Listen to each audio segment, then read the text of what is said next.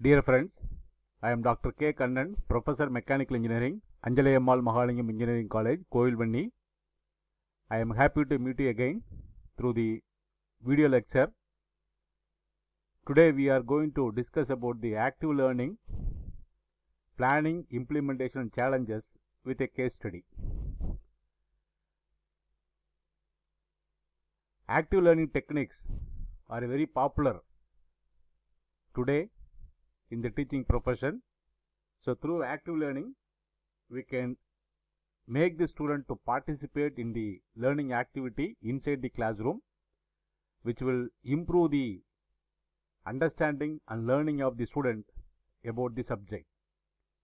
So through proper planning, we can implement the active learning techniques for better learning of the students and here in this lecture I am going to present a case study which I have conducted for third semester mechanical engineering students. And before we take up the discussion these are all the books I have published earlier. I have 30 plus years of experience in engineering colleges teaching mechanical engineering subjects. My specialization is design of transmission system turbo machines, heat and mass transfer, operation research, gas dynamics and jet propulsion, thermal engineering, fluid mechanics and machines. And I have a YouTube channel where I have uploaded more than 200 videos on the subject mentioned here. Presently, I am working on the GATE question paper.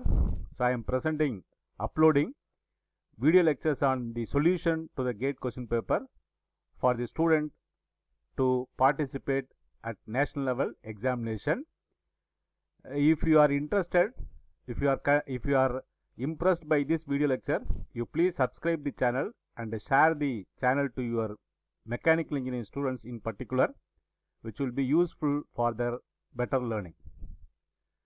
And the content for the presentation so we are going to briefly explain the activity called STAD.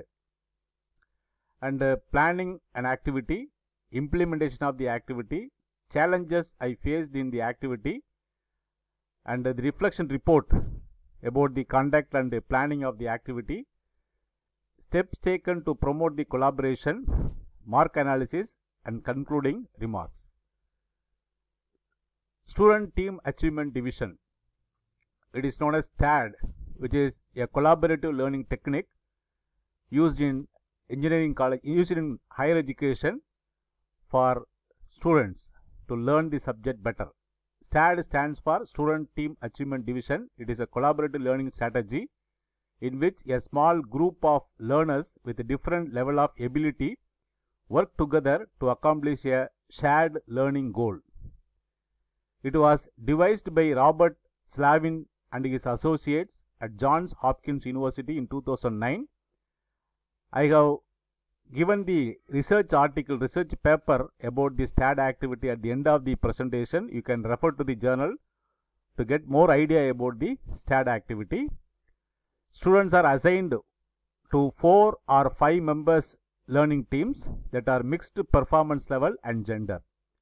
So if it is a co-educational institution, you can mix up the girl students with the boy students and the different performance level. So above average, below average, poor student everything you can have in a team you you have to arrange you have to devise. You have to see that in every team there should be one above average below average student. So the mixed performer should be there so that the above average student will help the poor learner or slow learner. The teacher present the lesson and then the students work together within their team to make sure that all team members have mastered in the lesson Finally, all students take individual quizzes on the material. At that time, they may not help one another. Students' quiz scores are compared to their own past average and points, points are awarded on the basis of degree to which the students meet or exceed their own earlier performance. These points are then summed to form the team score. So, at the end of the activity, there will be a quiz program so the individuals they have to participate, they have to answer the quiz. So during the answering the quiz program, they should not discuss among the team members. Then finally, we will find out the individual score and the team score. And this is the STAD technique. So learn together. So the four members will discuss the subject topic or material, learn together and they will take the individual quizzes. The quiz questions will be presented by the teacher either using PPT or a prepared quiz question printout may be given circulated to the individual students. They have to give the answers to you. And then you have to evaluate the quiz. Then finally you have to find out the individual score and uh, the group score or the team score. Planning about the activity. The activity to be used is STAD, Student Team Achievement Division. Subject is Engineering Thermodynamics. The class is third semester Mechanical Engineering. The topic selected for the collaborative activity is psychrometric properties. The objective of the activity, at the end of the activity, student will be able to infer and explain psychrometric properties. That is the objective or outcome of the activity. Plan to create team. The class 10th is 68 boys and 4 students are sitting in a desk. The number of batches planned is 17. The student will be allowed to sit such that there is minimum one above average student in each desk. The material on the topic activity psychrometric properties will be given to the students, individual students. They have to read, discuss, debate and clarify among themselves. I will supervise the discussion and help them if required. So they will discuss, they will read the material and discuss among themselves. If they have any query, they can ask the teacher. So I have taken another member to help me and uh, he also specialized in the particular subject. So both of us will help the students if they have any clarification. Total time for the activity is 20 minutes. The proposal to evaluate individual and uh, group performance. 10 questions with multiple answer answers will be prepared in PPT and projected on the class. Each question will be displayed for 30 seconds. All the students will be given the answer sheet and they have to tick the correct answer in the sheet. The answer sheets will be collected and evaluated for individual and group performance. Individual maximum mark is 10 and for and 40 for the group. Implementation. Introduction on the day of the activity. The activity, uh, the, the activity was informed to the students earlier, one day in advance. So they will come to the class with the mindset that there is an activity and through the activity they are going to learn. So on the day of the activity, I have to introduce about the activity. After arranging the team and team members, I introduce to this and introduce the students about the activity. Dear students, today I am going to discuss the topic psychrometric properties through an activity called collaborative learning. Now we will distribute the lecture notes on psychrometric properties. Please collect it. And then I explain the role of the students during the activity. So dear students, there are 17 teams seated in 17 desks. The students in the desk are the team members. You have to read and discuss the literature given in the psychrometric properties and understand. You may refer your book for clarification and discuss among yourself to get things clarified. The time allotted for reading and discussion is 30 minutes. Then the activity quiz program will be conducted for 20 minutes. Then we will evaluate your learning through a quiz program. For the quiz, 10 multiple answer questions were prepared and each question will be displayed for 30 seconds. You have to individually answer to the questions in the answer sheet given to you. The answer sheet will be evaluated and mark will be discussed in the next class. The challenges I faced during the conduct of activity. The student strength is more, so there was one more, there, are, there, there was more noise during the activity. Many times I told them do not talk unnecessarily and discuss only on the subject. So this is whenever we conduct some activity, you may find some noise in the classroom because the students they are discussing. Uh, obviously, the noise will be generated. Some somebody seeing from outside they think that something's wrong with the class, but actually the noise is due to their discussion. Loudly they read and discuss the subject. We the teachers exhausted at the end of the activity because going around the class motivating the student to involve in the activity and talking continuously to the students. So though the activities for the student, we have to monitor them and whenever required, we have to talk to them and we have to control their activity. Noise also we have to control here in the classroom. I found some glowing faces in the class at the end of the activity. They felt that they have achieved something on their own. So they learnt on their own and successfully answered all the 10 questions. To some extent, collaborative learning is successful in the class, but I have to use it for design problem and project work so that I can closely monitor the team member and correct their mistake. And reflection on my experience on the collaboration activity, creating the team. The class strength is 68, but on the day of the activity, number of students present was 64. I wanted to conduct the activity in a regular classroom because the projector facility is available in the classroom. The furnitures available in the class are 4 seated desks, so the, the team strength is 4 students. I distributed the students such that one above average based on the previous test performance and the interaction in the class. Above average student is available in each desk to help the slow learners.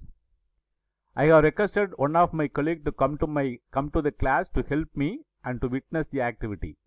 I have used STAD for the in-class act for the in-class activity and accordingly the class activity is designed. As this is the first time I am implementing collaborative activity for in-class activity for small duration, I do not want to use the activity for the project work which takes longer time in terms of days. I wanted to implement the activity within the class timing and gain the confidence and create the confidence in the mind of, mind of the students. Steps taken during the collaborative work was going on in the classroom to ensure the participation of the students. So keep the discussion going among the students members, among the team members. I went around the class during the activity and almost 80% of the students are actively involved in the collaborative learning. They tried to read repeatedly, understand the content and highlighted the important points using the pencil.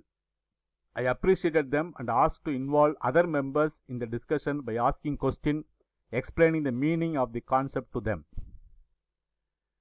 Motivate non-participating member.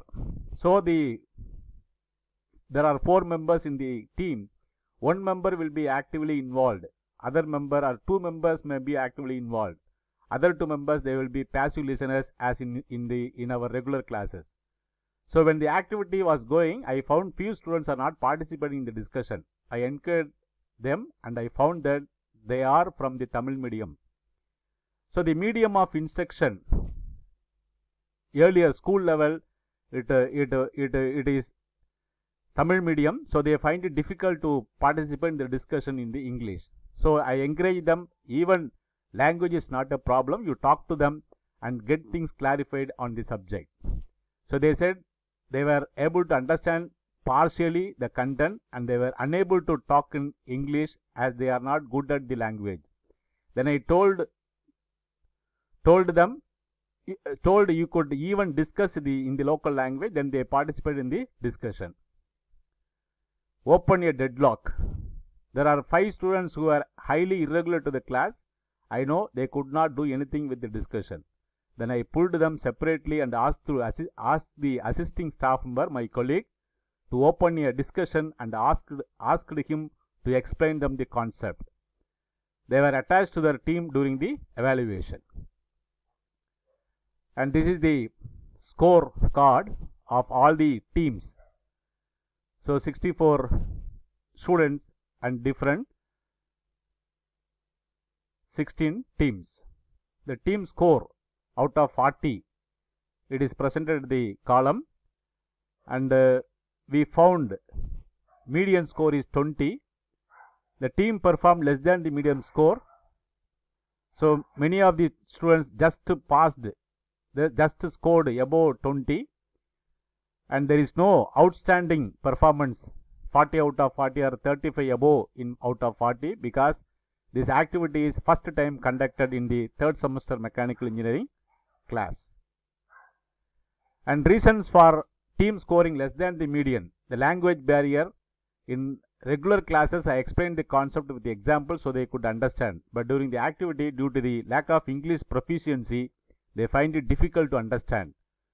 Few students find it difficult to even read the sentence without mistake. This I could found during the distribution of mark and discussing the answer. Important information I want to share here. If the first student tells some reason for the poor performance, other students are also repeating the same reason for their performance. So they're not, not even able to identify what is their mistake, what is their problem, personal problem, which is troubling them in learning. Reason for team outperformed. Few students performed well because fortunately 2 out of 4 were good students and they consistently doing well in the subject. And this is the reference paper so which you can refer for getting more information on this particular activity and implementing in your subject in your classroom. So thank you for watching. So if you like the video, I have 10 more video lectures on the outcome based education. You can listen to it and implement your thinking on outcome based education and implement the outcome based education in the classroom. So thank you once again.